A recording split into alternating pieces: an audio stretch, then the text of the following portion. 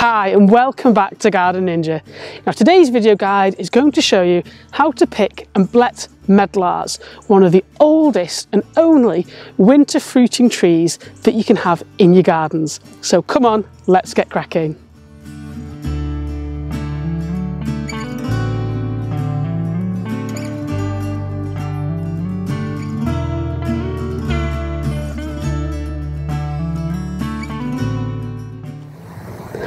Now, if you've watched any of my garden rescue shows on the BBC, you'll know that the medlar is one of my all-time favourite small garden fruit trees. And the reason for that is that it's one of the only ones that actually fruits in the winter. So whilst everything else has died back, the medlar surprises you by providing these really unusual fruits. If you've not already subscribed to my YouTube channel, hit the red button to subscribe today also click the bell for notifications. We'll have access to hundreds of garden design hints, tips and hacks from me, the Garden Ninja. And best of all, it's free.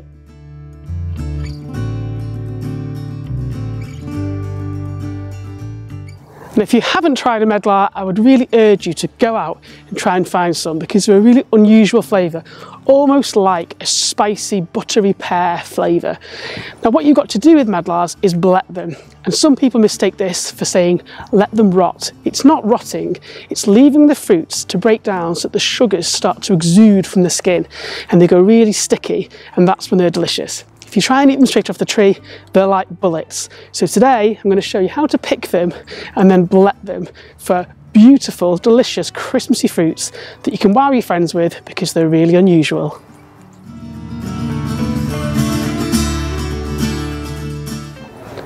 Now when it comes to bletting and preparing medlars, you're going to need a baking tray. And you might wonder, well, why is that?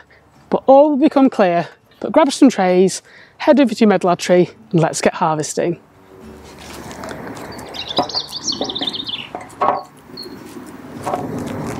We're ready to pick medlar, should literally just pop off, no force required.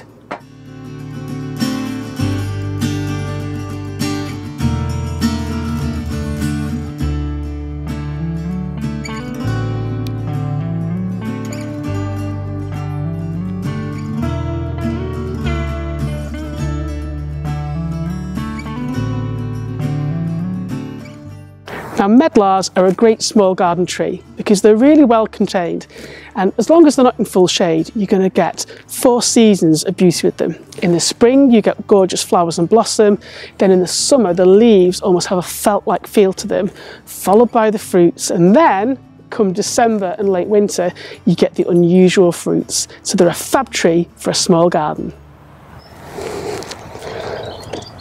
So once you've got your tray full of beautiful juicy medlars, it's time to get inside in the warm and start the bletting process.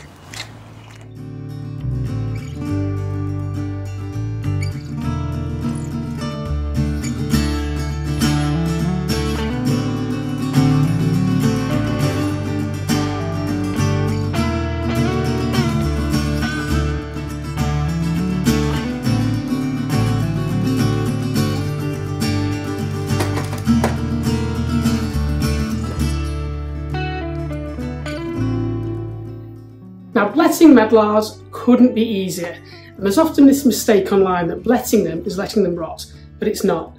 What it means is that we leave the medlars somewhere cool and dark like in a larder or a cupboard or in a tray somewhere like this for a couple of weeks until they start to almost ooze and you'll notice the sugars start to drip out the middle and they'll turn a dark brown colour.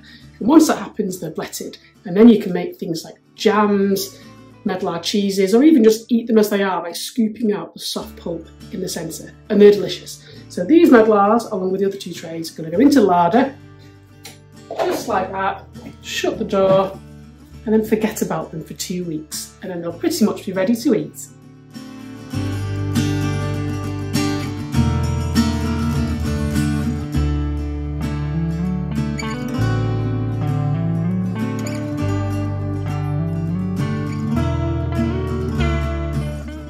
You got gardening questions that you need answers for, well, why not head over to the Garden Ninja forum on my blog where you can ask me anything about gardens, plants, and garden design.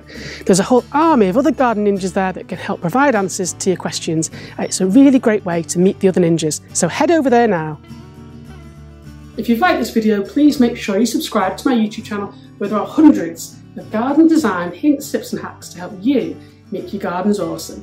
I've been Lee the Garden Ninja. Bye for now.